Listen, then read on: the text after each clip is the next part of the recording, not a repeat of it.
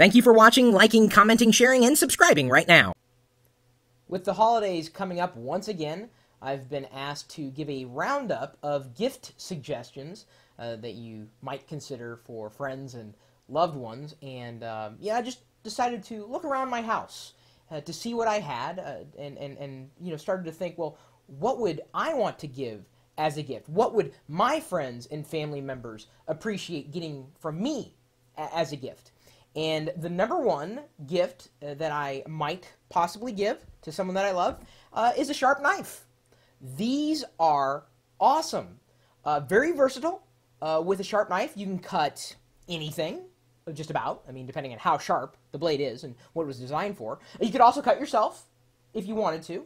Uh, certainly, if you're opening the gift and it wasn't wrapped properly, the person who was opening it could cut it. Uh, and they're a lot of fun to, to run around the house with.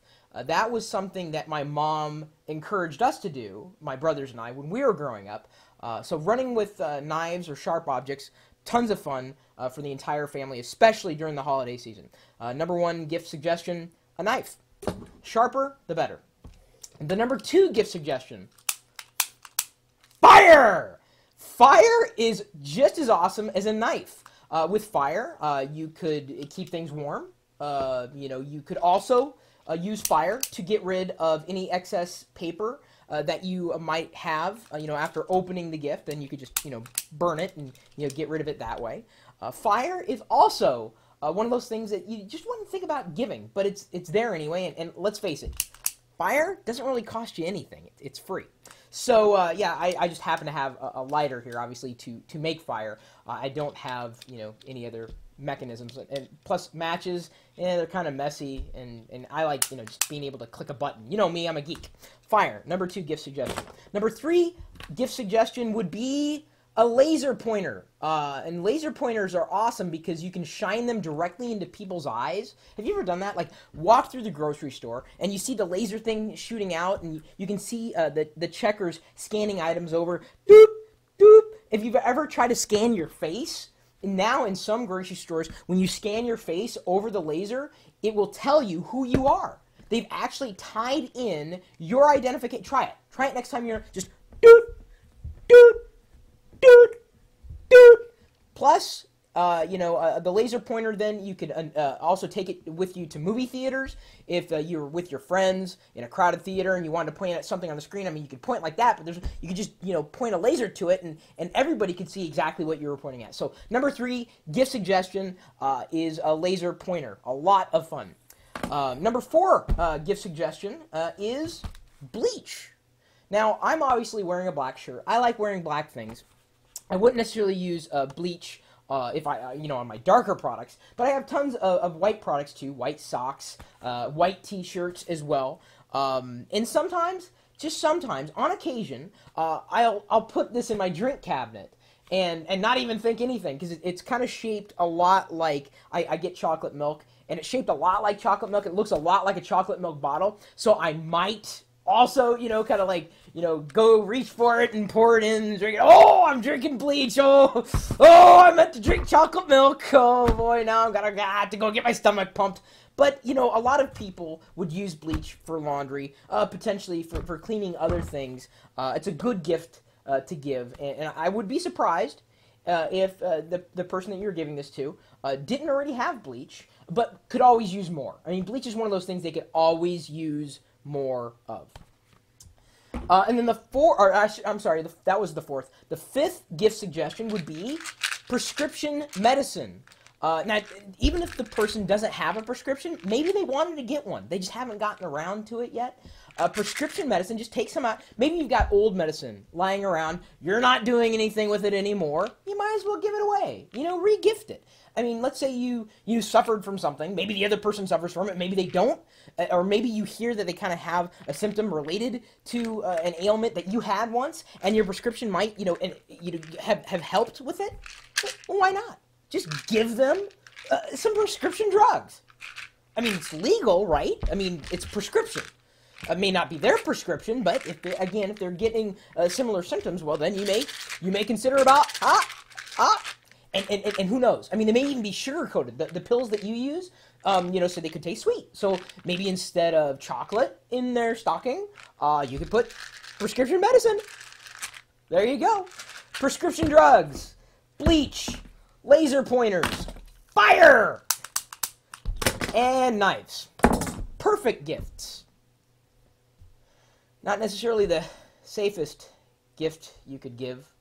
If you're looking to give the gift of safety, you might think about giving them a website. Yeah, a website, but it's a service that they could use with their existing internet connection that will provide them a greater level of safety. And let's face it, how many of the friends and family have called you up and said, Oh, I got a problem with a virus, or I, I, keep getting these strange messages from eBay, but I'm not signed up for eBay, or it's not my username. So they're, you know, potentially part of some kind of phishing scam. And you want to protect them, right? But you don't know what software to give them because software sometimes is complicated to install, and then you, you run into compatibility issues. Well, again, send them a website. I've talked about it several times before. In fact, let me pull it up here in the screen behind me. Give me a second. Uh, there we go. OpenDNS. OpenDNS.com. Every year that passes by, the tools for protecting you and your home network, specifically your family who's on your home network, they get better and easier. And if you haven't looked at OpenDNS.com yet, take a look. Nothing to install. You go to OpenDNS.com. It'll give you instructions no matter what your ISP happens to be. They'll tell you how to set it up and how to start using it. Essentially, they sit in between your internet connection, your home, and the internet.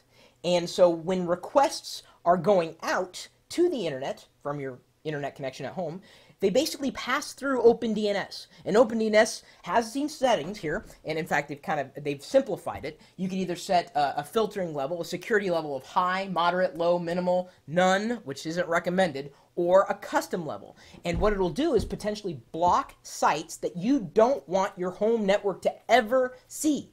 Phishing scams, uh, adult websites, gambling websites, uh, pot- uh, potentially hate or discrimination websites. Maybe you uh, uh you uh, want to block your your kids from seeing you know certain kinds of let's say well the list kind of goes on and on in terms of the types of sites that you can generally block. I'm trying to say, oh, drugs. There's a drugs website, which you know, again, if you're you know going to give that as a gift, you know, you probably wouldn't use you know OpenDNS as a gift since OpenDNS is giving the gift of safe. Just let them know. Drop them an email. Even, you know, print out the web page, give it to them in an envelope. And they'll look at it and go, what is this? So I'm just trying to protect you. You're online all the time. You're worried about scams. You're worried about, uh, you know, getting attacked, uh, like by these phishing scams. Uh, you're worried about adult websites creeping into your network and your kids seeing them. Well, here's the gift of safe. It's free. Nothing to install. I've been using it for, well, gosh, I don't even know how long it's been around, but I've been using it about that long. It's great. And the benefit of using OpenDNS is not only can it protect you from bad things or websites that you don't want your network to see ever, but it could potentially even make uh, the process by which websites load up even faster. Uh, essentially, it uh, caches or it uh, stores temporarily uh, the uh, the information as it's retrieved, but not necessarily on your computer at home, but on their service, on the OpenDNS servers. They're essentially associating an IP address, and remember, an IP address, everybody's got one of those. Everything on the internet, or at least the web, has got an, an IP address. It's located, it's its address on the network. Like a phone usually has a phone number, well, a web server usually has an IP address, or some kind of server has an IP address. And they associate that IP address with a domain name. So, OpenDNS.com has an IP address. My blog, chris.pirillo.com, has an IP address. DNS makes an, that match between the IP address and that web domain, that website. And when you use their service, their dedicated service, OpenDNS, things load quicker because they're able to uh, maximize the throughput and uh, get to the information quicker and make that data retrieval even quicker. So you're saving microseconds, but believe me, that adds up over time. This DNS caching is kind of a, a side benefit. Beyond giving the gift of safe, you're giving a, a gift of speed and sound mind. So uh, hopefully you uh, understood that I wouldn't necessarily recommend the products that I uh, was demonstrating in the beginning, but I am going to recommend uh, opendns.com, especially this time of year. Just think about it. It doesn't have to be a big gift, but it may be a big enough gift. If you're thinking about getting a security software for your friends or family, um, why not save some money, save some time? Sign up for OpenDNS. You don't even need to sign up to start using the service. You can to get detailed statistics and, and reporting of what happens on your home network, which is kind of cool too for geeks, but you don't even need to sign up to get going with it. It's easy to do, nothing to install, works with any internet connection, at least those that you can configure your DNS settings. Straightforward, even for noobs. My email address is chris at pirillo.com. You might find my IP address on the internet. Of course, I'll give you my uh, actual domain names. We've got a community of geeks at geeks.pirillo.com. You're more than welcome to join us if you happen to be on the geeky side. And plenty of things to do there, safe things to do there, of course. And there's also my blog, chris.pirillo.com, and of course the chat room, which has hopefully been providing colorful commentary throughout the duration of this particular video recording. Uh, tons of friendly faces here and uh, we keep a family-friendly environment. 24 hours a day 7 days a week since I, I have this chat room integrated with this live video experience because i'm recording this video live in front of this virtual audience which you are more than welcome to become a part of. And uh, the only thing you have to do is stop by my website. Uh, it's open 24 hours a day 7 days a week. We're typically talking tech at live.pirillo.com we'll see you later